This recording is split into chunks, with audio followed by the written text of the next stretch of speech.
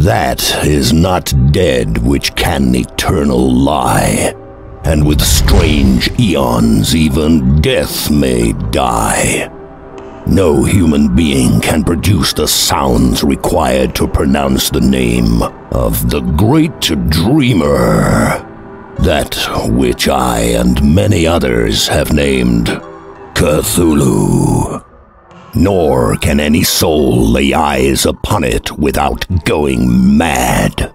So mere illustration must substitute for physical approximation based on the limitations of my own sanity and capacity for comprehension. Here be thus my own projection into the black, scrying, babbling void itself. Click, click, click, you fools!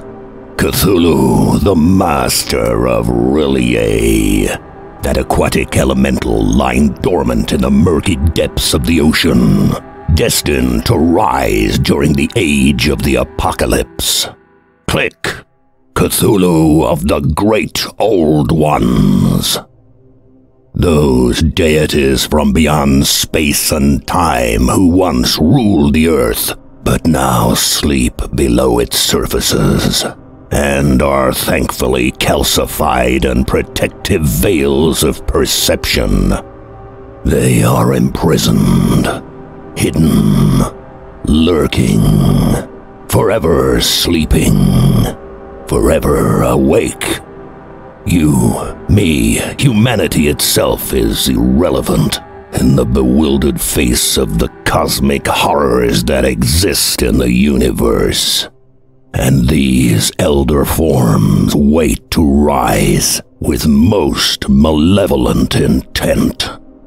Was it through the subtle shifting of their repose that crude, erroneous, incautious cults have emerged? Unwitting worshippers who blindly dawdle forth like worms. Pulp, horror, pop culture, mere games. They click and cry as they usher forth a pantheon of damnation to their doorstep. Our doorstep.